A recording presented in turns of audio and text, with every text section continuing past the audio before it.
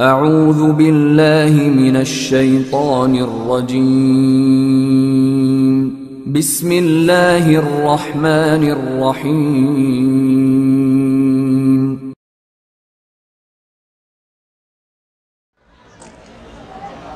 قل اللهم صل على محمد وعلى آل محمد. كما صليت على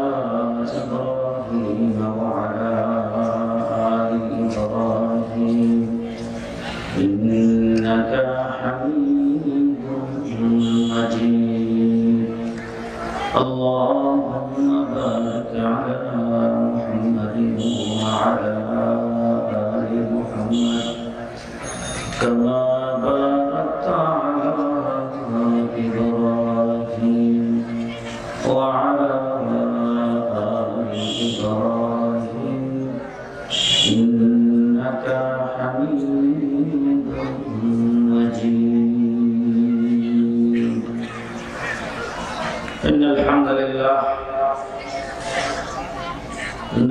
الله تعالى ونصلي على رسوله الكريم أما بعد.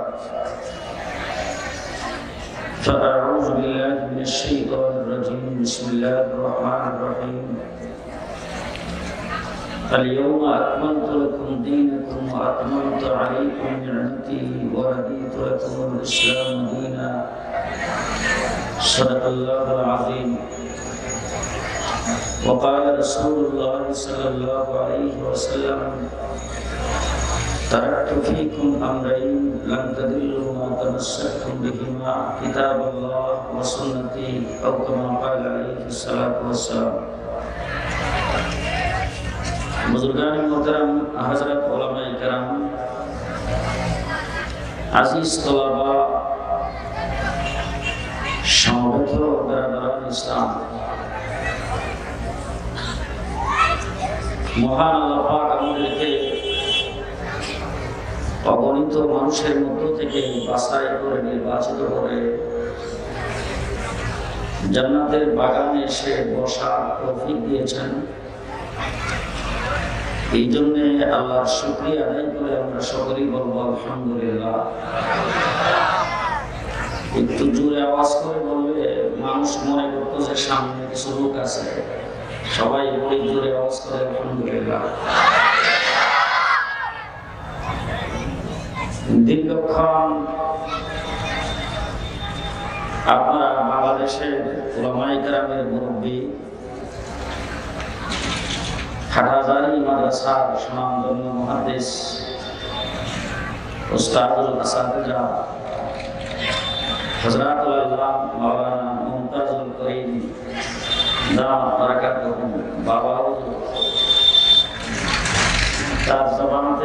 মূল্যবান কথাবার্তা শুনেছেন। আজকে এই মাহফিলে বাংলাদেশের শীর্ষস্থান দাওয়াত করা হচ্ছে। ওনারা আসবেন আপনাদের সামনে একের পর এক। দিক নির্দেশনামূলক আলোচনা করবেন। আমি খুবই একজন নালায়ক ব্যক্তি আপনাদের এই মাদ্রাসার কর্তৃপক্ষ যায় গ্রাম আমাকে মহব্বত করে হিসাবে আমাকে এখানে আসার জন্য হুকুম করেছেন। আমি আসলে হুকুম পালনার্থে আপনাদের সামনে হাজির হয়েছি। কথাবার্তা আমার খুব এলোমেলো হবে। কারণ মানুষ খাবারের সময় মধ্যখান দিয়ে কিছু সালাদ খায়। অনেকে বুখানি খায় মাঝখানটা আমার কথাগুলো সালাদ স্বরূপ বড় বড় হজরাত আপনাদের সামনে আসবেন, ওনারা বয়ান করবেন। আমি খুব সংক্ষিপ্ত সময় আপনাদের সামনে কয়েকটি কথা বলব। দয়াপুর মাদ্রাসা।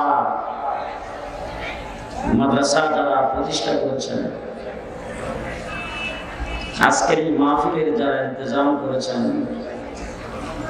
মাদ্রাসায় যারা পড়ে, যারা পড়ায়, মাদ্রাসাকে যারা সহযোগিতা করেন শোনার জন্য এইখানে যারা আগমন করেছেন সর্বপ্রথম আমাদের পরিচয়টুকু জানা দরকার, আমরা কারা? আমরা কে? আমাদের পরিচয় আমার কথা, আমার ভাষা, আমার শব্দগুলি যদি আপনারা বুঝেন, তাহলে একটু হা হু আমার সাথে বলবেন। কারণ মাহফিলে লোক সংখ্যা লোকজন হবে, আসতেছে। আমার যেহেতু আরও প্রোগ্রাম আছে, এই জন্য আমি সময় দিতে পারলাম না বলে দুঃখিত। তো আপনারা যদি কিছু কথা আমার কাছ থেকে শুনতে চান, তাহলে কথাগুলি ভিতর থেকে একটু টেনে টেনে বের করা লাগবে। টেনে টেনে বের করা সিস্টেম হলো যে আপনাদের হা, হু, না, শব্দ যত গরম হবে, আমার আলোচনা তত গরম হবে। আপনারা ঠান্ডা হলে আমিও ঠান্ডা, কথা কি বুঝাতে পারব সর্বপ্রথম আমাদের পরিচয় জানা দরকার, আমরা কার? যারা আমরা এখানে বসেছি, যারা আমাদেরকে দাওয়াত করেছেন, তারা কারা? আজকের স্টেজে বয়ান করে গেছেন, সামনে এসে বয়ান করবেন যারা, তারা কারা? আমাদের একটা মূল পরিচয় হলো, আমরা আহলে সুন্নাত ওয়াল জামাত হানাফি, দেওবন্দি মুসলকের লোক। কথা ভালো করে বুঝবেন এবং উত্তর দেবেন। আমাদের সংগঠন, আমাদের প্ল্যাটফর্মের নাম আহলে সুন্নাত ওয়াল জামাত হানাফি দেওবন্দি। চারটা শব্দ, চারটা, কয়টা? মন থাকবে তো, মন থাকবে তো? চারটা শব্দ। আহলে ওয়াল হানাফি দেওবন্দি।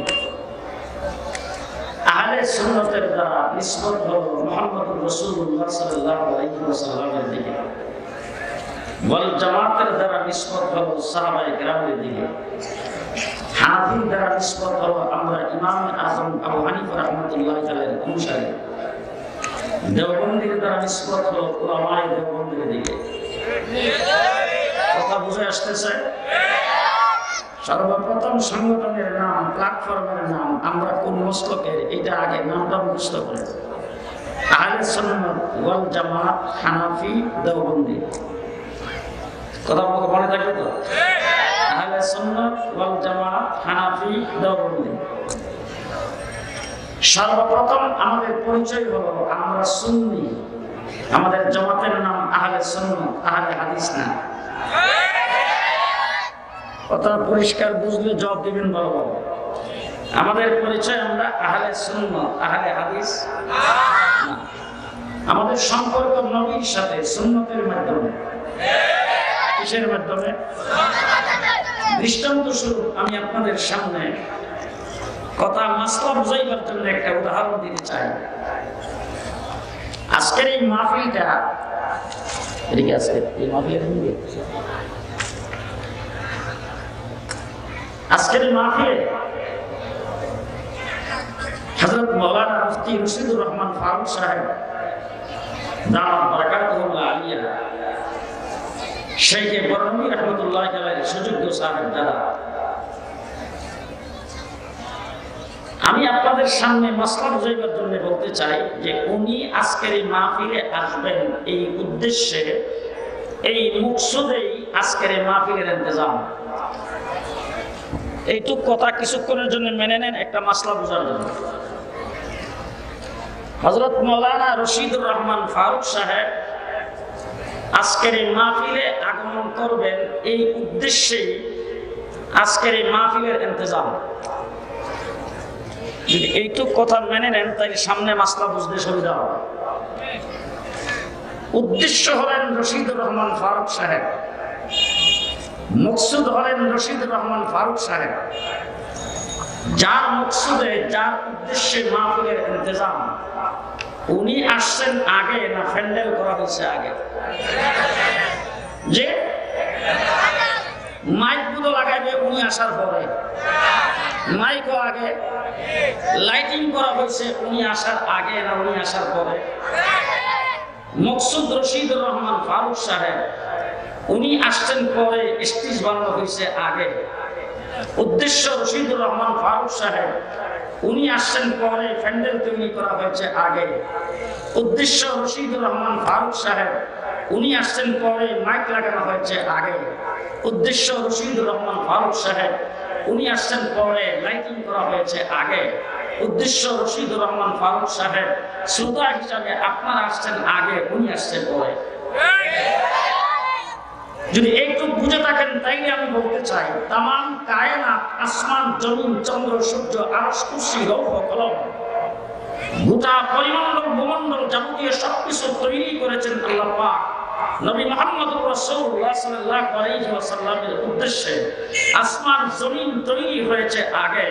আমার নবী মোহাম্মদ রাসূলুল্লাহ উদ্দেশ্য তিনি পৃথিবীতে আসছেন পরে। চন্দ্র, সূর্য তৈরি হয়েছে আগে। আমার নবী উদ্দেশ্য তিনি পৃথিবীতে আসছেন পরে। আরস কুর্সি লৌহ কলম তৈরি হয়েছে আগে। আমার নবী মোহাম্মদ রাসূলুল্লাহ উদ্দেশ্য তিনি আসছেন পরে। হুর গিলমান ফিরিস্তা মানুষ জিন তৈরি করেছেন আগে। আমার নবী উদ্দেশ্য তিনি আসছেন পরে। কথা বুঝে আসতেছে বুঝে আসতেছে? যে দুই নম্বর আরেকটা দৃষ্টান্ত দিকে আপনারা আরেকটু ভালো করে বুঝবেন। বাদ খান সাউলেন না দানেন যে বাবা একটু আগে বসো। তোমাদের তো ব্যাটারি চার্জ করা লাগবে। বাদ চাউলেন না দানের? চাউলের। চাউল আগে না দানা সর্বপ্রথম ধানটাকে পানি দিয়ে ভিজায় আমাদের দেশে দিক সিগারে চাক দিয়ে রাখে। রাখার পরে দুই দিন পরে বের হয় গেরা। গেরা বের হইলে খায়। উদ্দেশ্য কি? উদ্দেশ্য চাউল, কথা কয়। উদ্দেশ্য চাউল। এরা বের হওয়ার পরে নিয়ে কাদা মাটিতে ফেলাইছে। উদ্দেশ্য হইল চাউল। ওখান থেকে ধানের জ্বালা বড় হয়েছে উদ্দেশ্য হইল চাউল। এখান থেকে উঠে নিয়ে ক্ষেতের মধ্যে কাতার ধরে লাইন ধরে লাগাইছে। উদ্দেশ্য হইল চাউল। সার দিছে, গোবর দিছে হুইটার দিছে, আগাছা পরিষ্কার করছে। উদ্দেশ্য হইল চাউল। পানি দিছে, মৌসুমি কতদিন পর পরে পানি। উদ্দেশ্য হইল চাউল। ধান গাছ বড় হয়েছে উদ্দেশ্য হইল চাউল। ধানের শীষ ধরছে। উদ্দেশ্য হইল চাউল। ক্ষেতের মধ্যে পাকছে। উদ্দেশ্য হইল চাউল। কাইটা বাড়িতে আনছে, উদ্দেশ্য হইল চাউল। মেশিন দিয়ে সুরাইছে উদ্দেশ্য হইল চাউল। পানি দিয়ে ভিজায় সিদ্ধ করছে, উদ্দেশ্য হইল চাউল। রুদ্রি দিয়ে শুকাইছে, উদ্দেশ্য হইল চাউল। মেশিনে ভাঙ্গায় চাউল বের করছে। উদ্দেশ্য কি? উদ্দেশ্য? চাউল। চাগে চাউল আগে আইছে না পরে? হ্যাঁ? চাউল পরে, উদ্দেশ্য চাউল আসছেন পরে। ঠিক তেমনি করে তাম কায়নাত সৃষ্টি করেছেন। আদম সালামকে আল্লাহ পাক কুদরতি হাতের দ্বারা বানাইছে। উদ্দেশ্য নবী মুহাম্মদুর রাসূলুল্লাহ। ইব্রাহিমকে খলিল বানাইছে। উদ্দেশ্য নবী নমরুদের আগুন থেকে তাকে বাঁচাইছে।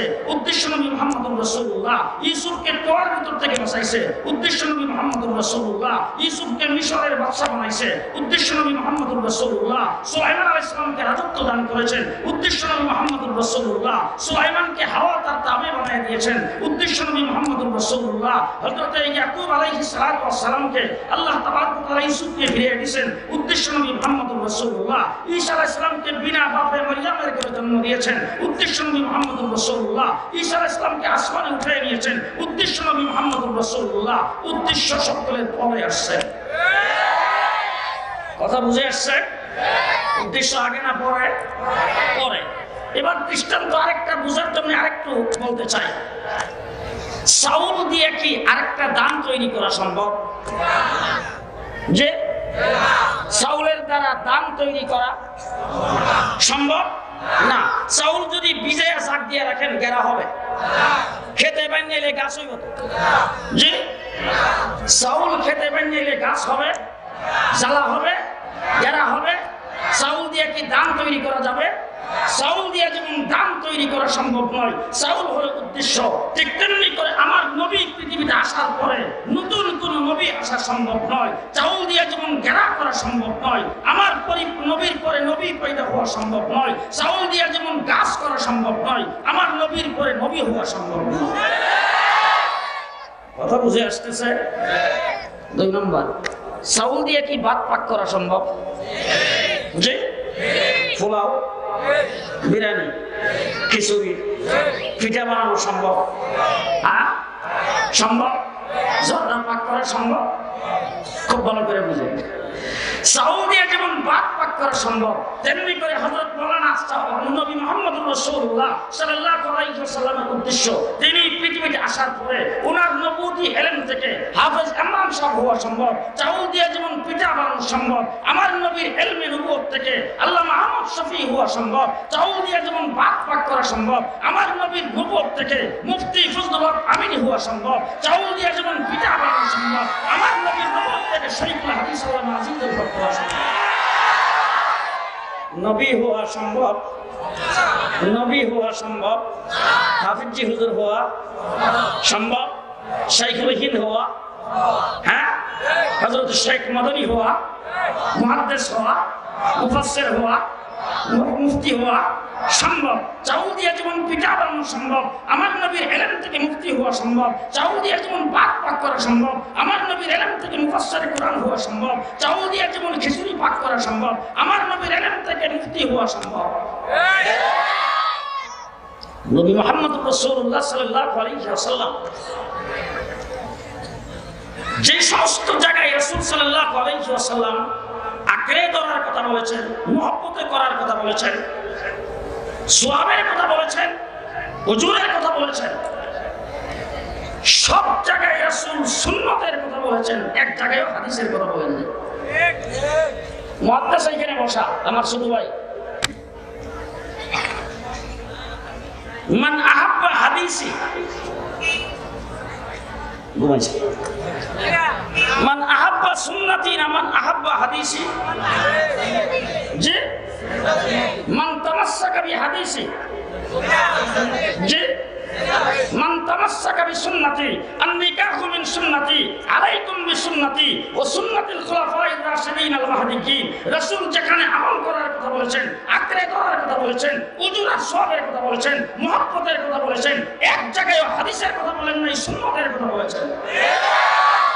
আমাদের পরিচয় আহলে হাদিস না আহলে সুন্নত যে সারাদিন যত কাজকর্ম করি, সব তো হাদিস নাম দিয়ে করি। রাস্তার ডাইন সাইড দিয়ে হাঁটা হাদিস। আজ পর্যন্ত কোনোদিন কোনো মানুষের কাছে শুনছেন, রাস্তার ডাইন সাইড দিয়ে হাঁটা হাদিস? হাদিস না শূন্য ডাইন হাতে ধরা হাদিস। হাদিস না শূন্য মসজিদের ভিতরে ডাইন পাও দিয়ে প্রবেশ করা হাদিস হাদিস না শূন্য মসজিদ থেকে বাম পাও দিয়ে বের হওয়া হাদিস না শূন্য আসতে বলেন কেন হাদিস না বাথরুমের ভিতরে বাম দিয়ে প্রবেশ করা হাদিস না থেকে ডাইন বের হাদিস না ডাইন হাতে ধরা হাদিস না হাদিস না বিষয়ে হাদিস না করা হাদিস না দৈনন্দিন সমস্ত আমল সুন্নতের নাম দিয়ে করি একটা হাদিস নাম দিয়ে করি। না আমাদের পরিচয়? যে? আজ পর্যন্ত শুনছেন কোন ব্যক্তি ছেলের মুসলমানি করাইছে আপনাকে দাওয়াত দিছে আমার ছেলের হাদিসে ঘটনা। আসতে গল্প হাদিসে খতনা না শূন্যতে খতনা আজ পর্যন্ত কোন বাবা তার মেয়ের দাওয়াত দিছে আপনাকে, আমার ছেলের হাদিসে নিকা, আমার মেয়ের হাদিসে নিকা। হাদিসে নিকা না শূন্যতে নিকা? আজ পর্যন্ত কোন বাবা কার্ডের মধ্যে লেখছে, আমার ছেলের হাদিসে উলিমা। হাদিসে উলিমা না শূন্যতে উলিমা? আরও জোরে কাম শূন্যতে উলিমা। তাই আমাদের প্রথম পরিচয় হলো আমরা আহলে সুন্নাত। আমরা হইলাম সুন্নি। আমরা কারা? সুন্নি। রবিউল আব্বাল মাসের বারো তারিখে সকল ঈদের সেরা ঈদ মহিলা জুলুস বের করে বাজারে জিলাপির দাম বাড়াইলে সুন্নি হয় না। সুন্নতর আমল করলে সুন্নি হয়। আমরা সবচাইতে বিশেষ জমিনের উপরে, আসমানের বিশেষ জমিনের উপরে, বর্তমানে আহলে সুন্নাতুল জামাত সুন্নি নামদারি কেউ যদি থাকে উলামায়ে দেওবন্দের জামাত, উলামায়ে কওমিয়ার জামাত, দয়াপুর মাদ্রাসাওয়ালাদের জামাত। মিষ্টি খাওয়া সুন্নত, আমরা মানি না। মানিনি। খাইতে বসছি, একজন বুড়া হুজুর আমার সাথে বসা খাইতে। খাওয়ার পরে মিষ্টি এনে দিছে, উনি সিংড়ি দিয়ে একটু মিষ্টি মুখে দিছে। আমি প্লেটটারের সামনে ধাক্কা দিয়ে বললাম যে হুজুর, খান। বাবা, ডায়াবেটিস। ডায়াবেটিস একটু যে সুন্নতটা পালন করলাম। খাওয়ার পরে সুন্নত আমরা পালন করি তো।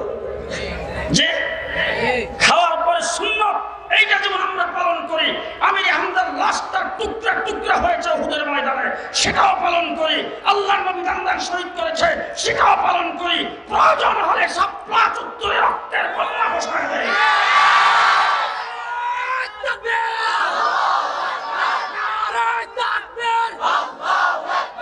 ইসলামের শুধু রোগ ইসলামের শুধু রোগ নারায়ণ তাকবীর মুহাম্মদুর রাসূলুল্লাহ সাল্লাল্লাহু আলাইহি ওয়াসাল্লামের আহলে সুন্নাত ওয়াল জামাত সুন্নি তাদেরকে বলা হয় আল্লাহর নবীকে গালি দিবে চুপ করে বসে থাকবে তারা সুন্নি নয়, আল্লাহর নবীকে গালি দিবে, গায়ের মধ্যে হিট লাগবে না।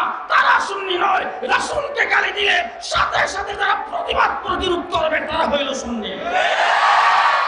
ঠিক না বে ঠিক? করি আমরা। আমাদের আমাদের সিলসিলার সবচাইতে বড়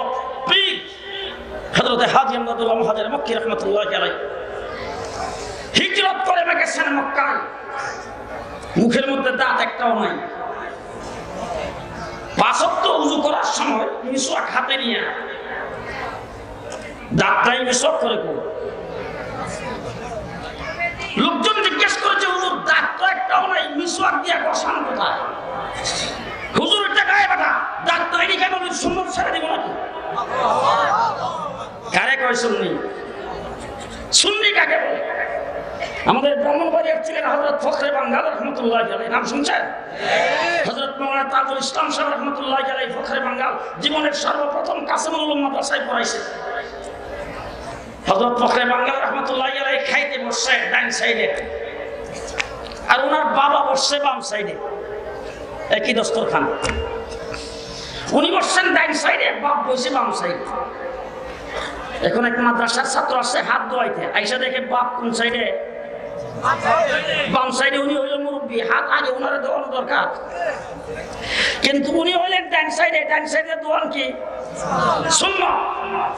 এখন এই ছেলে খুব ঠেকছে, এখন কি করবে? আগে কি ছেলের হাত ধোয়াবে না বাপেরে ধোয়াবে? সিলুমসি হাতে নিয়া। কোন দিকে যাইব, কোন দিকে না? ফখরে বাঙ্গাল ডাক দিয়ে বেটা, বাপ বলে না নবী বড়। বাপ বলে না নবী বড়। ছেলে থেকে হুজুর নবী বড় তাইলে আমার আগে হাত ধোয়া। সুন্নি কারে কর কারে কই সুন্নি? আল্লাহ মোহাম্মদ শফিক আহমদ বরকাত হুকে দেখছি, রুম থেকে বের হইতেছি। খাদেমি নিয়ে সুতা পায়ে দিছে, হঠাৎ করে ভুলে বাম পায়ে। ধাক্কা দিয়ে কয়, বেটা, সুন্নত কোন না। কারে কই শুননি আমাদের প্রথম পরিচয় হলো আমরা শুননি আমাদের জামাতের নাম আহলে সুন্নাত। আহলে হাদিস। আহলে হাদিস। হাদিস আর সুন্নতের মধ্যে পার্থক্য ভালো করে বুঝতে হবে। রাসূল যেটা বলছেন এটা হাদিস, হুজুর যেটা করছেন এটা হাদিস, সাহাবায়ে কেরাম যেটা করছেন এটা হাদিস। সবগুলোকে মুহাদ্দিসিনে কেরাম জমা করে বোখারি শরীফ, মুসলিম শরীফ, তিরমিজি শরীফ, আবু দাউদ শরীফের মতো বড় বড় কিতাব আমাদের জন্য রেখে তারপরে মুহাদ্দিসিন জমা করে দিয়ে গেছেন। আর মুসলমান সব হাদিস আমাদের জন্য আমল করার বিষয় নয়। সুন্নাত হলো হাদিস থেকে রিচার্জ করে সাহাবায়ে কেরাম যেটাকে আমলে পরিণত করেছেন সেটা। উম্মতের জন্য সুন্নত হলো সাহাবীরা যেটা আমলে পরিণত করেছেন, সেটা হাদিসে থাকলেই সুন্নত, হয় না? হুজুর বললেই সুন্নত, হয় না? হুজুর করলেই সুন্নত, হয় না? আপনাদের আওয়াজ এখন আসতে কারণ হলে আপনারা ভালো করে বুঝেন নাই। আমার রাসূল বিয়ে করছেন এগারোটা। এখন কিছুটা বুঝতেছে। হুজুর বিয়ে করছেন কয়টা? আরে মিয়া পাখি গুলো বসে আছে, এখানে উনি মাথা লাগা দিয়ে বলবেন যে, মনে করবেন যে ঠিক কইতেছি। আমার মধ্যে মধ্যে একটু মাথা লাগা দিয়ে। হুজুর বিয়ে করছেন এগারোটা, কয়টা? একসাথে নয় জন বিবি ছিল রাসুলের।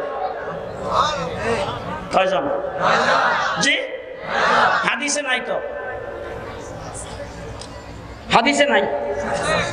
আল্লাহর নবী কোন বয়সে কোন স্ত্রীকে বিয়ে করেছেন? স্ত্রীর কি না? বাপের নাম কি? কোন বংশের? স্ত্রীর বয়স কত? সে কি বিবাহিত? আগে বিয়ে কোন কোন জায়গায় হয়েছে? সন্তানাদি ছিল কিনা? বিয়ার মজলিসে কে কে উপস্থিত ছিল? খুতবা কেনা করছে? বিয়ার মোল্লা কে? কাজী কে? সাক্ষী কে? উলিমা কি খাওয়াইছে? সব হাদিসে আছে। হাদিসে আছে না নাই? দৃষ্টান্ত স্বরূপ একটা হাদিস শুধু বলতে চাই। রসুল সাল্লাহ গেছেন খাইবরের যুদ্ধে। যুদ্ধ শেষ, যুদ্ধ বিজয় হয়ে গেছে। গরিমতের মাল মুসলমানদের হাতে আসছে। আল্লাহ নবী সমস্ত মালগুলি সাহাবাই কেরামের মধ্যে, মুজাহিদদের মধ্যে বিতরণ করে দিয়েছেন এখন কাফেরদের মহিলারা বন্দী হয়ে আসছে। তাদেরকেও রাসুল এক একজন সাহাবির অধীনে এক একজনকে বান্দি বানিয়ে দিয়েছেন। দেওয়ার পরে হুজুর অর্ডার করেছেন, কাফলা এখন মদিনার দিকে রওনা হবে। এমন সময় একজন মহিলা ঈশা রাসুলের সামনে দাঁড়ায় বলেন ও আল্লাহ নবী, আমি খাইবরের বাদশার করেন কার করেন বাদশার করেন আমাকে আপনি যেই অধীনে দিছেন, ওই সিটির বাইরে তার না বুঝবেন না তার সাথে আমার বনবে না আমি বাদশার ঘরের তো। সামাজিক ভাবে তার সাথে আমার বনাবন্তি হবে না। তার থেকে সুরাইয়া আপনার অধীনে আমাকে রাখেন। আল্লাহ রসুল সাল্লাহ আলাইসাল্লাম বলেন, আমি বন্টন করে দিয়ে ফেলেছি। এখন আবার কীভাবে নিয়ে আসি? এই অনধিকার চর্চা আমি করতে পারব না। আল্লাহ নবী তো ওই জাতীয় লিডার না যে সৌদি আরবের দুম্বার গুস্ত বাক করে খাবে। ঘুমাইছে। হুজুর আকরাম সাল্লাল্লাহু আলাইহি সাল্লাম বলেন, আমি তো এই চর্চা করতে পারব না। তবে হ্যাঁ তোমার প্রস্তাবটা আমি ওই সাহাবীর কাছে পৌঁছাইতে পারব আল্লাহ নবী যখন সাহাবিকে এই ঘটনা বলছেন এই প্রস্তাব যখন পৌঁছাইছেন সাহাবি ডাক দিয়ে একটা বান দিয়ে একটা মহিলা তো দূরের আমার জানটাই তো আপনার জন্য দিয়ে দেবো যখন ওই মহিলাকে আল্লাহ নবীর কাছে অপোজ করেছেন হুজুর আকরাম সাল্লাল্লাহু আলাইহি ওয়াসাল্লাম মহিলাকে ডাক দিয়ে বলেন শোনো আমি কাউকে বান্দি আর গোলাম বানাইবার জন্য পৃথিবীতে আগমন করি নাই আমি এই মুহূর্তে তোমাকে আজাদ করে দিলাম। সুবহানাল্লাহ, এত জোরে করেন না যে মানুষ বাহির থেকে শুনে। যাও তোমাকে আজাদ করে দিলাম, এখন তুমি তোমার পুত্রের কাছে চলে যাও। মহিলা চোখের পরে ছেড়ে দিয়ে ডাক দিয়ে বলে, ও আল্লাহ নবী, আপনার নুরানি চেহারা রহমাতুল্লিল আলমিনের চেহারা দোরা খায়া হোক, বন্দি হয়ে হোক, যেইভাবে হোক, গ্রেফতার হয়ে হোক, আপনার সামনে এসে যখন দেখে ফেলেছি, আর নিজের পুত্রের কাছে ফিরে যাইতে চাই না, কালিমা পরে মুসলমান হয়ে গেলাম, আপনি আমাকে বিবাহ করে স্ত্রীর মর্যাদা দিয়ে রাখেন। ওই জায়গায় ওই মহিলাকে রাসূল বিয়ে করেছেন, তার নাম হযরতে সফিয়া রাদিয়াল্লাহু তাআলা আনহা। উম্মাহাতুল মুমিনিন হযরতে সফিয়া। বিয়ে করার পরে রাসূল কাফেলাকে ডাক দিয়ে বললেন, আমরা এখন মদিনার দিকে যাব না। রাত্র আজকে এখানে থাকব, সকালে উঠে রওনা হব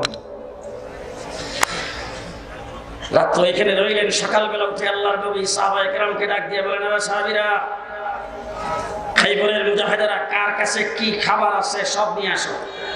কার কাছে কি খাবার আছে? কারও কাছে আছে- কিছু খেজুর, কারও কাছে আছে কিছু ছাতু, কারও কাছে আছে একটু হালুয়া, কারও কাছে আছে কিছু পানি, যার কাছে যা আছে সব নিয়ে আসছে আল্লাহ নবী বলেন, লম্বা দস্তরখান বিছাও। দস্তরখান বিছাইছে বলে খাবারগুলি সবগুলি দস্তরখানের মধ্যে রাখো। দস্তরখানের মধ্যে খাবার রাখা হয়েছে। রাসূল বলেন খাইবরের সমস্ত মুজাহিদদেরকে বলো দস্তরখানের চতুর্দিক দিয়ে বসে এখান থেকে খাবার খাইতে। খাওয়া যখন শুরু হয়েছে রাসূল ডাক দিয়ে বলেন গতকাল সন্ধ্যায় যে সফিয়ার সাথে আমার বিয়ে হয়েছে ওই বিয়ার পলিমা তোমাদের খাওয়াইলাম। আছে তো হাতিছে জি? কোন বিয়েটা কোনখানে কেমনে হয়েছে উনি উলিমা কি খাওয়াইছেন হাদিসে আছে না নাই? হুজুর বিয়ে করছেন কয়টা?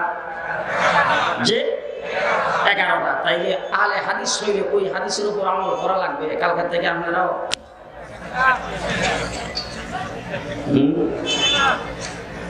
ঘটনা কি? হ্যাঁ, রাসূল এগারোটা বিয়ে করেছেন। এটা উম্মতের জন্য শরীয়ত নয়। উম্মতের জন্য শরীয়ত হলো সাহাবায়ে কেরামের আমল। ঠিক না ঠিক উম্মতের জন্য শরীয়ত হলো ফান্তিহু মা তাবালাকুম মিনান নিসাই মাসনা ওয়া সুলাসা ওয়া রুবা। চারটার বেশি অতিরিক্ত তুমি করতে পারবা না। চারটা পর্যন্ত করতে পারবা। এরপর আবার শর্ত আছে, ফাইন খিপ্তুম আল্লাহ তাআদিলু যদি তাদের মধ্যে সমতা রক্ষা করে চলতে পারো, ইনসাফ কায়েম করতে পারো, তাইলে তোমার জন্য একাধিক বিবাহ করতে পারো। আর যদি ইনসাফ রক্ষা করতে না পারো, ফাওয়াহিদা একটা নিয়েই থাকবা। আহলে হাদিস না আহলে সুন্নাত? সবাই কয় না, কিছু রুগীর মধ্যখানে বসে আছে না আহলে হাদিস না আহলে সুন্নাত? আহলে সুন্নাত বলা করে আশেপাশে যদি কেউ চুপ করে বসে থাকে তারা দিয়েও কয়বেন আমার রসুল সাল্লাল্লাহু আলাইহি ওয়াসাল্লাম উযু সারা নামাজ পড়েছেন। ঘুমাইলে উজু ভাঙ্গে কিনা? আপনাদের হুজুর ঘুমাইলে উজু ভাঙ্গে না। উনিও ঘুমাইলে ভাঙ্গে যে? হ্যাঁ, পিসাব যদি ঘুমায় উজু ভাঙ্গে আমার রাসুল সাল্লাহ ইসলাম আয়েশার হুজুরের ভিতরে ঘুমাইছে, ঘুম থেকে উঠতে যায় দেখে জামাত তয়া রাসুল নামাজে দাঁড়াইছে। নামাজ পড়ে রাসুল যখন ফেরত আসছে, আম্মা জান আয়েশা সিদ্দিকে ডাক দিয়ে বলেন, ও আল্লাহর নবী, জিব্রাইল আমিনের সঙ্গে বোধ আপনার দেখা হয়েছে হুজুর বলেন, জিব্রাইল আজকে আইসুন তাইলে আপনি যাবার ঘরে ঘুমাইছিলেন, এই কথাটা বোধ ভুলে গেছেন। হুজুর বলে, এত তাড়াতাড়ি বলি নাকি?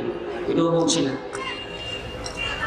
আমাদের আয়েশা সিদ্দিকে বলেন দুইটার একটা তো হয়েছে হয়তো জিব্রাইলের সঙ্গে সাক্ষাৎ হয়েছে নাইলে যে আপনি আমার ঘরে ঘুমাইছেন, এটা বলছেন, দুইটার একটা তো হয়েছে আপনি না করেন কেন? আল্লাহ নবী বলেন, দুইটার একটা হয়েছে না, তুমি বলো কীভাবে? আমাদের আয়েশা সিদ্দিকে বলেন, মাসলা শিখিয়েছেন, আপনি ঘুমাইলে উজু ভাঙ্গে। আমরা ঘুম থেকে উঠতে উজু করে তারপরে নামাজ পড়ি। আর আপনি আমার ঘরে ঘুমাইছেন, ঘুম থেকে উঠতে যায়, নামাজ পড়ে আসছেন, পুজো করেন নাই, তাইলে আপনার হয়তো জিব্রাইল আমি এসব মাসলা পাল্টাইছে আর নইলে আপনি আমার ঘরে ঘুমাইছেন, ঘুমছেন, দুইটার একটা দোষই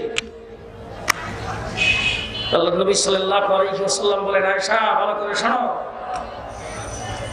দুনিয়ার সমস্ত মানুষকে আল্লাহ পাক দুনিয়ার মাটির দ্বারা তৈরি করেছেন। নবীকে আল্লাহ পাক জান্নাতের মাটির দ্বারা তৈরি করেছেন। নবী যখন ঘুমায়, তখন নবীর ঘুমে উজু ভাঙ্গে না। উম্মত যখন ঘুমায়, তখন উজু ভাঙ্গে। তার কারণ হলো হাদিসে রাসূল বলেছেন, নবী যখন ঘুমায়, তার চোখ ঘুমায়, অন্তর ঘুমায় না। নবী ঘুমাইলে চোখ ঘুমায়, অন্তর ঘুমায় না। রাসূল সাহাবায়ে কেরামের সামনে যায় বলতেছেন, ও সাহাবীরা, একটা স্বপ্ন দেখেছি, শোনো। বলে, কি স্বপ্ন? আল্লাহ নবী বলেন, আমি দেখি ঘুমের মধ্যে দেখতেছি, স্বপ্নে দেখতেছি দুইজন ফিরিস্তা এসে আমার কাছে বসছেন। বৈশাখ দুইজনের মধ্যে একটা বিষয় নিয়ে একতলাপ হয়েছে একতলাপ বুঝেন তো মতানৈক্য দুইজনের মধ্যে মতানৈক্য বলে, কি বিষয়? বলে, বিষয়টা হলো, একজন বলতেছেন, একজন ফিরিস্তা বলতেছেন, আমি জাগ না। আরেকজন বলতেছেন, আমি ঘুমে। হুজুর সাল্লাল্লাহু আলাইহি ওয়াসাল্লাম বলেন, দুজনেই সত্য কথা কইছে। আচ্ছা আপনারা কোন দুজন সত্য কইব না একজন?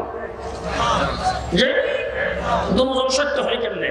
আল্লাহ রাসূল সাল্লাল্লাহু আলাইহি সাল্লামকে জিজ্ঞেস করেছেন, হুজুর, দুইজন কেমনে সত্য হয়? সত্য তো একজন হবে। আল্লাহ নবী বলেন, যেই ফেরেশতা আমার চোখের দিকে নজর করেছেন, সে বলছে আমি ঘুমে। যে আমার অন্তরের দিকে নজর করেছেন, সে বলছে আমি হুজুর ঘুমাইলে হুজুরের চোখ ঘুমায় অন্তর তেমনি করে আমার রাসূল সাল্লাল্লাহু আলাইহি ওয়াসাল্লাম ইন্তেকাল করেছেন। ইন্তেকালের তারিখ কত? এটা আসতে পাওয়ার কোনো দরকার নাই, এটার মধ্যে একতলাপ নাই একতলাপ হলো জন্মের মধ্যে। জন্মের তারিখের মধ্যে একতলাপ আছে, রাসূল বারো তারিখে আসছে, না এগারো তারিখে আসছে, না আট তারিখে আসছে, না নয় তারিখে আসছে, কিন্তু মৃত্যুর তারিখের মধ্যে কোনো একতলাপ নাই। রাসূল মারা গেছেন বারো তারিখে, এটার মধ্যে কোনো একতলাপ কোনো একতলাপ নাই। এখন বারো তারিখে জুসনে জুলুস। আল্লাহ নবী ইন্তেকাল করেছেন, সাহাবায়ে কেরামের হুশ নাই।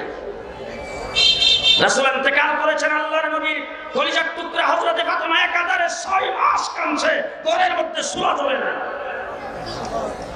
হাসান হুসাইন আর তুমি উম্মতের নাম দিয়ে বারোই আব্বালে জুসনে জুলুস বের করে খুশি বানাও। মুসলমানেরা! পরিষ্কার ভাষায় বলে গেলাম হাসনের ময়দানে ফাতেমা যায়া আল্লাহর দরবারে কেস দায়ের করবে আর বলবে, ও আল্লাহ, আমার বাবা ইন্তেকালের পরে ছয় মাস আমার ঘরে চুলা চলে নাই আর আমার বাবার উন্মতের নাম দিয়ে দুষ্টের জুলুস বের করছে। ও আমার ভাইরা রাসূল ইন্তেকাল করেছেন হযরতে আলী হযরত উসমান রাদিয়াল্লাহু তাআলা আনহুমা, একবারে বাকরুদ্ধ অবস্থা। সমস্ত সাহাবায়ে কেরাম সুকাহত হযরত ওমর ইবনে খাত্তাব আসছেন, আয়েশা রাসূল সাল্লাল্লাহু আলাইহি সাল্লামকে দেখছে, দেইখা তলোয়ার হাতে নিয়া মদিনার অলিগলিতে দৌড়াইতেছে আর বলতেছে, আল্লাহর নবী ইন্তেকাল করেছেন, এই কথা যদি আমার সামনে কেউ উচ্চারণ করে, আজরি মুলকাহ একদম তার গর্দান কেটে ফেলবে। রাসূল ইন্তেকাল করেছেন, হযরত ওমর ইবনে খাত্তাব মানতে রাজি না। সাহাবায়ে কেরাম বলেন, ইন্তেকাল করেছেন। ওমর কি বলে? ইন্তেকাল করেন মহাদিসিনগণ লিখেছেন যে হযরত উমর ইবনুল খাত্তাব আল্লাহর নবীর অন্তরের দিকে নজর করেছেন, সাহাবায়ে কেরাম রাসূলের চোখের দিকে নজর করেছেন। হ্যাঁ মুসলমান! হুজুর আকরাম সাল্লাল্লাহু আলাইহি ওয়াসাল্লাম ঘুমায়, চোখ ঘুমায় না। এই জন্য রাসূল ঘুমাইছে, উযু ভাঙ্গার কারণ। কিন্তু যাইয়া হুজুর নামাজ পড়াইছে, উযু সারা এটা হাদিসের মধ্যে নাই। হ্যাঁ? তাহলে আহলে হাদিস হইলে তো এই হাদিসের উপর আমল করা দরকার। আহলে হাদিস না আহলে সুন্নত? আরও আসতে। আহলে আহলে সুন্নত খুব ভালো করে মনে রাখেন।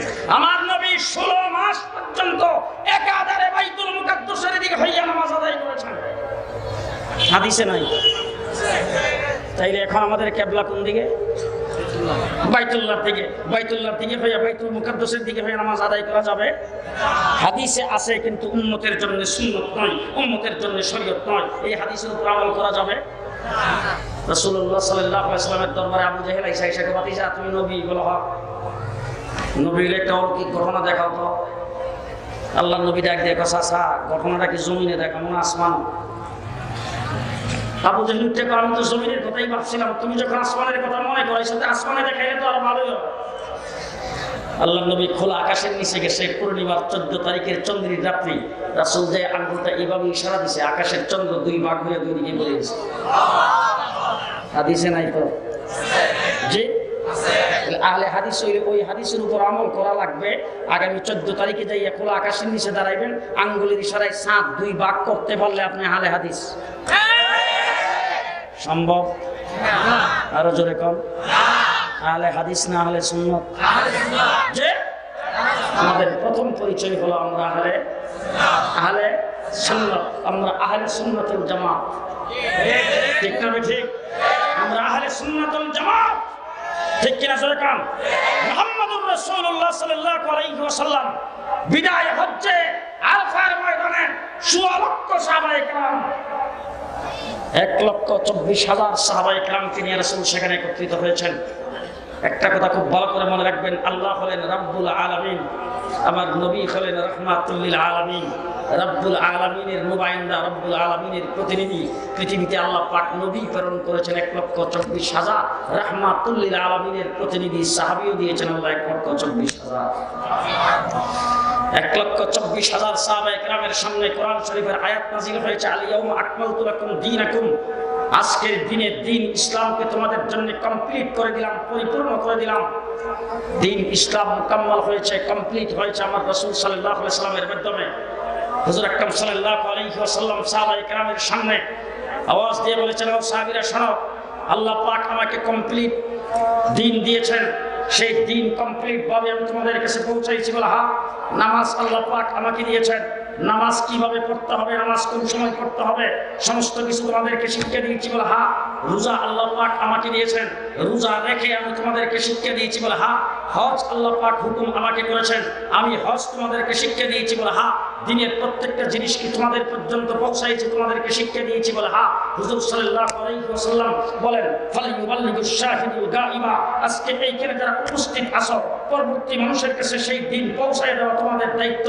খুব ভালো করে খেয়াল করবেন আল্লাহ নবী এক লক্ষ চব্বিশ হাজার সোয়া লক্ষ সাহাবায়ে কেরামের সামনে রাসূল আলাইহি বিদায় হজ্জের ভাষণ দিয়েছিলেন। সেই ভাষণের সময় হুজুর বলছেন, বল্লিগু আন্নি আয়া। একটা আয়াত যদি আমার কাছ থেকে জেনে থাকো। পরবর্তী মানুষের কাছে পৌঁছায় দেওয়া তোমাদের দায়িত্ব। হুজুর আকরাম সাল্লাল্লাহু আলাইহি সাল্লামের কাছ থেকে দিন প্রচারের দায়িত্ব সাহাবায়ে কেরাম গ্রহণ করে ইতিহাস সাক্ষ্য দিয়েছে। মাত্র দশ হাজার সাহাবায়ে কেরামের মাজার এবং তাদের কবর মক্কা মদিনার ভিতরে আছে। বাকি এক লক্ষ চোদ্দ হাজার সাহাবায়ে কেরাম কোন জায়গায় যে শুইছে পৃথিবীর কোনখানে তার কোনো ইতিহাস নাই। সোয়া লক্ষ সাহাবায়ে মধ্যে এক লক্ষ চোদ্দ পনেরো হাজার সাহাবি তাদের মধ্যে একজন হজরত সাদ বিন আবি ওয়াক্কাস রাদিয়াল্লাহু তাআলা আমাদের সিনে শুয়ে আছেন। সিনে সাহাবীর মাজার কথা বুঝে নাই? সিনে সাহাবীর বাজার তখনকার সময়ে সিনে যাইতে বিমান ছিল তো? রকেট। হেলিকপ্টার। কি ছিল? দুইটা ব্যবস্থা, দুইটা। একটা হলো জলপথ আর একটা হলো স্থলপথ। ইতিহাস যদি যায় বঙ্গোপসাগরের উপর দিয়ে গেছে, নিশ্চয়ই তারা বিরতি দিয়েছেন আমাদের চট্টগ্রাম বাংলাদেশের উপর দিয়ে গমন করেছেন আমার রসুলের কাছ থেকে দিন কমপ্লিট দিন গ্রহণ করে সাহাবায়ে কেরামকে আল্লাহ পাক আল্লাহ নবী দায়িত্ব দিয়েছেন। দিন প্রচার করার জন্য সাহাবায়ে কেরাম গোটা পৃথিবীতে দিন প্রচার করেছেন। খুব ভালো করে মনে রাখবেন, কথা আমি সংক্ষেপ করে আনতেছি। আজান হয়ে গেছে, আমার বোধহয় টাইম শেষ। আমার ভাইরা, আমি অনেক দূরে যাব। এক নম্বর হলো দিন কমপ্লিট করেছেন আল্লাহ পাক আমার নবী মোহাম্মদ রসৌল্লাহ সাল্লাহ সাল্লামের মাধ্যমে। মন থাকবে? দুই নম্বরের দিন প্রচার করেছেন সাহবা একরামের মাধ্যমে। কমপ্লিট দিন রাসুল আল্লাহর কাছ থেকে নিয়ে সাহবা একরামকে দিয়েছেন। সাহবা একরাম দিন প্রচার করেছেন। দিন কমপ্লিট হয়ে গেছে, দিন প্রচারিত হয়ে গেছে। এখন দয়াপুর মাদ্রাসার জন্য, ব্রাহ্মণবাড়িয়া জামি ইউসিয়ার জন্য, আমার ভাইরা সেই কাসেমুল মাদ্রাসার জন্য, এই উন্মতের জন্য দিন লিপিবদ্ধ হওয়া দরকার। আল্লাহ পাক এই উন্মতের ভিতরে সবচাইতে বড় আলম সাহাবায়ে কেরামের পরে ইমামে আজম আবু হানিফা রহমতুল্লাহ খেলাইকে জন্ম দিয়েছেন। ইমামে আজমের মাধ্যমে দিন লিপিবদ্ধ করাইছেন। ভালো করে একটা একটা করে মনে রাখবেন, বিস্তারিত ব্যাখ্যা বিশ্লেষণ করার সময় নাই। এই এলাকায় হয়তো আমার প্রোগ্রাম আরও সামনে আছে, যদি আসি, তাই এই ব্যাখ্যা করব। এক নম্বর দিন কমপ্লিট হয়েছে আমার নবীর মাধ্যমে, দুই নম্বর দিন প্রচারিত হয়েছে সাহাবায়ে কেরামের মাধ্যমে, তিন নম্বরে দিন লিপিবদ্ধ হয়েছে ইমামে আজম আবু হানিফার মাধ্যমে।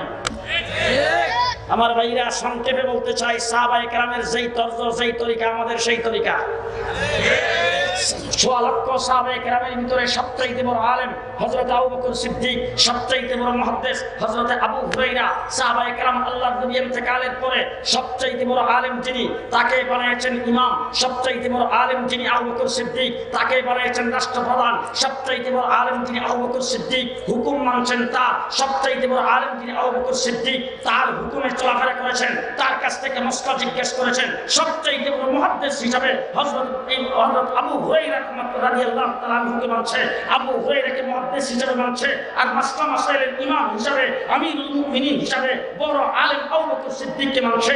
ঠিক সাহাবায়ে কেরামের পরের জেনারেশনে সবচাইতে বড় আলেম হলেন ইমামে আজম আবু হানিফা রহমাতুল্লাহ আলাই সবচাইতে বড় মুহাদ্দিস হলেন ইমাম বুখারী রহমাতুল্লাহ আলাই সাহাবায়ে কেরামের তর্জ অনুযায়ী বড় আলেমকে আমরা মাযহাবের ইমাম হিসেবে মানি, বড় মুহাদ্দিসকে ইমাম বুখারীকে আমরা আমরা মুহাদ্দিস হিসাবে মানি। বড় আলেম হলেন ইমামে আজম আবু হানিফা, তাকে মাযহাবের ইমাম হিসেবে মানি। বড় মুহাদ্দিস হিসাবে ইমাম বুখারীকে মানি। সাহাবায়ে কেরামের তর্জ ঠিক আছে না নাই? এখন দেখবেন কালকে এসে বলবে যে হ্যাঁ মানো তো ঠিক হই, কিন্তু তোমরা কোনো সাহাবিকে পাও নাই, তোমরা কোনো এই মক্কা মদিনার কোনো মানুষকে পাও নাই। ফাইসও একজন যিনি জন্ম গ্রহণ করেছেন কুফায় ওনার আসলে আরবীয় না, আজমি, ফার্সি ভাষার লোক। সেই কুফার ইমামকে তোমরা মানতে গেছো, আমরা মক্কা মদিনাটা মানি আমি বলতে চাই ইমামে আজম আবু হানিফা রহমতুল্লাহ কুফায় জন্মগ্রহণ করাই উচিত।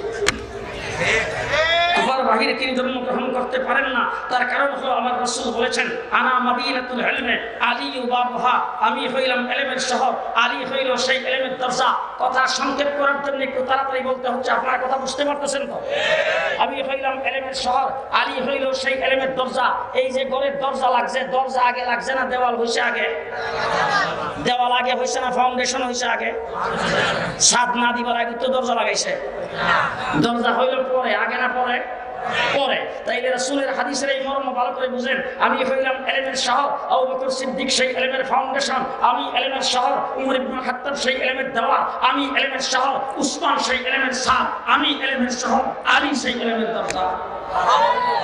এবার হজরত আবু বকর সিদ্দিক আল্লাহর নবীর পরে যখন আল্লাহ আকরাম সাল্লাল্লাহু আলাইহি ওয়াসাল্লামের মসজিদ নববীর ইমাম হয়েছেন, আমিরুল মুমিনিন খলিফাতুল মুসলিমিন হয়েছেন, মসলা মাসাইলের হুকুম দেওয়ার মালিক হয়েছেন, হযরত আবু বকর সিদ্দিক, আবু বকর সিদ্দিক হুকুম দিয়েছেন মদিনায়, আবু বকর সিদ্দিক ইমামতি করেছেন মদিনায়, আবু বকর সিদ্দিক রাষ্ট্র পরিচালনা করেছেন মদিনায়, আবু বকর সিদ্দিক মসলা মাসাইল দিয়েছেন মদিনায়, আবু বকর সিদ্দিক ছাত্র পড়াইছেন মদিনায়, আবু বকর সিদ্দিক ইন্তেকাল করেছেন মদিনায়, আবু বকর সিদ্দিককে দাফন করা হয়েছে মদিনায়। দুই নম্বর খলিফা হযরত উমর ইবনে খাত্তাব আসছেন তিনি আয়েশা আবু বকরের দায়িত্বভার গ্রহণ করে, তিনিও রাষ্ট্র পরিচালনা করছেন মদিনায়, ইমামতি করছেন মদিনায়, তার মসলা মাসাইল দিয়েছেন মদিনায়, ফতোয়া দিয়েছেন মদিনায়, ছাত্র পড়াইছেন মদিনায়, তিনি শাহাদত বরণ করছেন মদিনায় দাফন করা হয়েছে মদিনায়, তিন নম্বর খলিফা হযরত উসমান আয়েশা ইমামতি করছেন মদিনায়, রাষ্ট্র চালাইছেন মদিনায়, ফতোয়া দিয়েছেন মদিনায়, শাহাদত বরণ করছেন মদিনায় দাফন করা হয়েছে জান্নাতুল বাকিতে মদিনায়, চতুর্থ খলিফা হজরত আলী উসমানের আসনে এসে বসে দায়িত্বভার গ্রহণ করে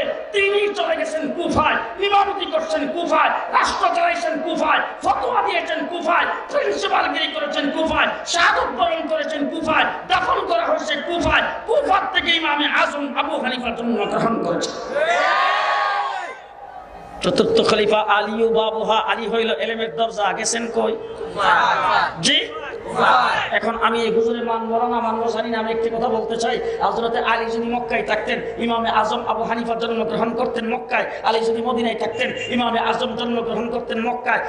মদিনায় আলী যদি দয়াপুর থাকতেন, তাহলে ইমামে আজম জন্মগ্রহণ করতো দয়াপুর। আলী দরজা, এই দরজা দিয়ে এলেম বের হয়েছে। ইমামে আজম আবু হানিফা সেই এলেম গ্রহণ করে কোরআন এবং হাদিস থেকে এই উম্মতের জন্য তেরো লক্ষ মশালা বের করেছেন। সোহান আল্লাহ আসতে করেন মাইসে শুনব কয়টা মশলা? জি? তেরো লক্ষ মশলা বের করেছেন। ইন্না আব্বালা ইন্না আব্বালা মান দাব্বানা শারিয়াতিন ওয়ারাত্তাবাহু আবওয়াবান। ইমামে আজম আবু হানিফা, ইমামে আজম আবু হানিফা শরীয়তের মাসলা মাসাইলকে সর্বপ্রথম এই উম্মতের জন্য লিপিবদ্ধ করে দিয়েছেন, তরতিব দিয়েছেন ইমামে আজম আবু হানিফা রাহমাতুল্লাহ ও আমার ভাইরা, হযরত ইমামে আজম কুফায় জন্মগ্রহণ করেছেন কোন জায়গায়? কুফায়। হজরতে আলী রাজি আল্লাহ তালু এতেকাল করেছেন কোন জায়গায়? কুফায়। যেখানে আলীর এতেকাল যেখানে আলীকে দাফন করা হয়েছে সেখানে হজরতে ইমাম আজম জন্মগ্রহণ করেছে। কথা কি বুঝে আসবে? বিস্তারিত যদি কোনো সময় সঙ্গে পাই ইনশাল্লাহ বলব আমাদের তিন নম্বর পরিচয় আমরা হানাফি। যে আমরা? হ্যাঁ হানাফি আসতে কর আমরা? হানাফি। চার নম্বর পরিচয় আমরা দেওবন্দি। চার নম্বর পরিচয়। শেষ শুধু বিস্তারিত বলার সময় নেই শুধু একটা দৃষ্টান্ত দিয়ে কথাটা বুঝাই বিদায়।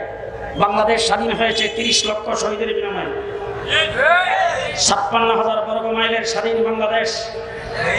দুই লক্ষ মা বোনের ইজ্জত লুণ্ঠন করার কারণে বাংলাদেশ এক সাগর রক্তের বিনিময়ে লাল সবুজ পতাকার বাংলাদেশ। এই বাংলাদেশ স্বাধীন হয়েছে এখন স্বাধীনতার সর্বভৌমুক্ত ভারত থেকে আইসা বাহির থেকে আইসা কেউ যদি নস্বাত করে দেয় পারবে? যে নস্বাত করে এটা আপনারা চান, বাংলাদেশের ভিতরে কেউ ফাটাইয়া বাংলাদেশের ভিতরে কেউ সৃষ্টি করে, স্বাধীন সার্বভৌম দেশের নাগরিকের জানমালের ক্ষতি করে কিনা আপনারা চান? তাই এটা যদি না চান, তাইলে বাংলাদেশের পক্ষ থেকে সাংবিধানিক ভাবে দেশের জনগণের সুবিধার্থে বর্ডার কাপ নিয়োগ করা হয়েছে। ঠিক ঠিক? তিরিশ লক্ষ শহীদের বিনিময়ে অর্জিত বাংলাদেশ এই বাংলাদেশের ভিতরে যদি অবৈধভাবে বাহির থেকে কেউ প্রবেশ করতে চায়, বর্ডার গার্ডের দায়িত্ব হলো ফায়ার। এখন ভয় ডরে গেছে। বর্ডার গার্ডের দায়িত্ব? আসতে করেন না, জোরে করেন। বর্ডার গার্ডের দায়িত্ব? ফায়ার। বাংলাদেশের ভিতর থেকে যদি অবৈধভাবে কিছু বের করতে চায় বর্ডার গার্ডের দায়িত্ব ফায়ার ঠিক তেমনি করে আল্লাহ জমির দান দান শহীদ করা দিন, তাইফের জমির রক্ত দেওয়া দিন, উমির আম- আমির হামদার লাশটাকে টুকরা টুকরা করা দিন হজরত হুসাইনের লাশ টুকরা টুকরা করা দিন, আমার ভাইরা সাহাবায়ে কেরামের ত্যাগ তিকিতের বলে দিন, উলামায়ে কেরামের রক্ত দেওয়া দিন, সেই দিনের কোনো কিছু ঢুকাইতে যাতে না পারে, এই জন্য কেউ যদি কোনো কিছু অবৈধ ঢুকাইতে চায়, আমার আল্লাহ তাবার তাআলা উলামায়ে দেওবন্দকে নির্ধারণ করেছেন, তারাও করবে ফায়া কথা বুঝে আসে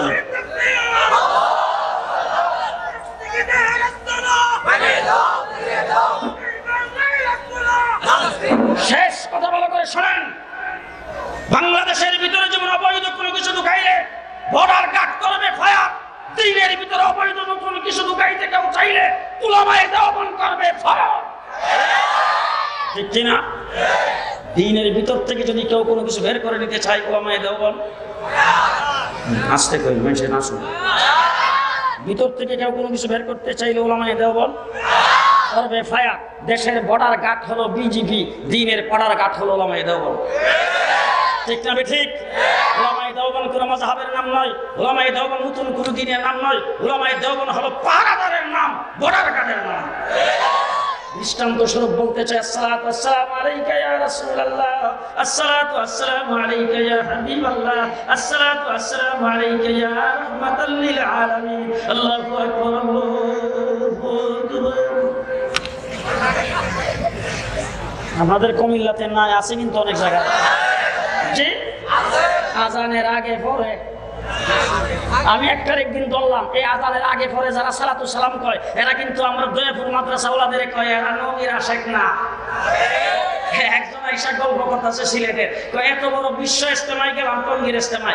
পুরোটা দিক নামাজ একসাথে একটা নামাজের পর কইছে না। এরা না। না আমি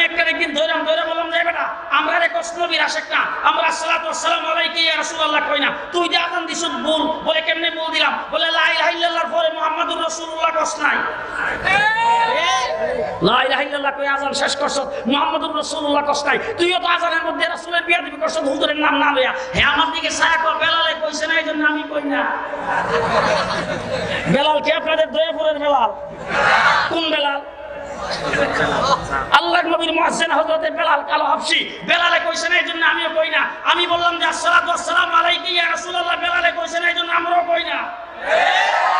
ঠিক না ঠিক? আসসালাতু আসসালামু আলাইকা ইয়া রাসূলুল্লাহ কইয়া, আজানের আগে পরে নতুন কেউ যদি কোনো কিছু ঢুকাইতে চায়, আরও আসতে। জি? সকল ঈদের সেরা ঈদ, ঈদে মিলাদুন নবী। আমার রাসূল বলেছেন, উম্মতের জন্য ঈদ দুইটা। কয়টা? কেডা কেডা মানেন দেখি, দুই আঙ্গুল উঠান। আল্লাহ নবী বলেছেন, উম্মতের জন্য ঈদ দুইটা। তিন নম্বর ঈদ, সকল ঈদের সেরা ঈদ। ঈদের মিলাদুন নবী কইয়া যদি বারোই রবিউল আব্বাল আরেকটা ঈদে উম্মতের জন্য কেউ নতুন করে ঢুকাইতে চায়। আরও জোরে। তারাবির নামাজ কয় রাকাত? আসতে কম? তারাবির নামাজ এই উম্মতের জন্য কয় রাকাত? কোন ব্যক্তি যদি আইসা বলে তারাবির নামাজ আট রাকাত কইয়া বারো রাকাতকে বের করে দিতে চাই আরও জোরে। লামাই দেওবন্দের দায়িত্ব হলো বর্ডার মন থাকব?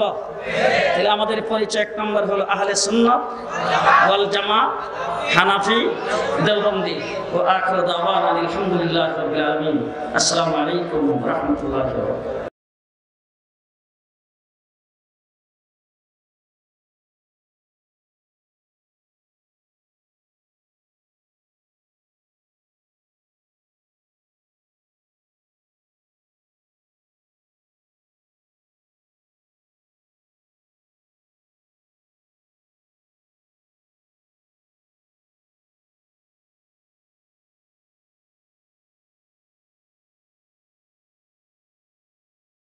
আসসালামু আলাইকুম ওয়া রাহমাতুল্লাহ ওবরকাত সম্মানিত মুসলিম ভাই বোনেরা আলোর সন্ধানের পক্ষ থেকে আপনাদেরকে স্বাগত জানাচ্ছি। ভিডিওটি দেখার জন্য আপনাদেরকে আন্তরিক ধন্যবাদ জানাচ্ছি। আশা করি আমার এই ভিডিওটি আপনাদের অনেক ভালো লেগেছে। আমার আরও নতুন নতুন ইসলামিক ওয়াজের ভিডিও দেখতে হলে দয়া করে আমার চ্যানেলটি সাবস্ক্রাইব করুন এবং লাইক, কমেন্ট, শেয়ার করে আপনাদের মতামত দিয়ে আমাকে উৎসাহিত করুন। রোজাকুল্লাহ খায়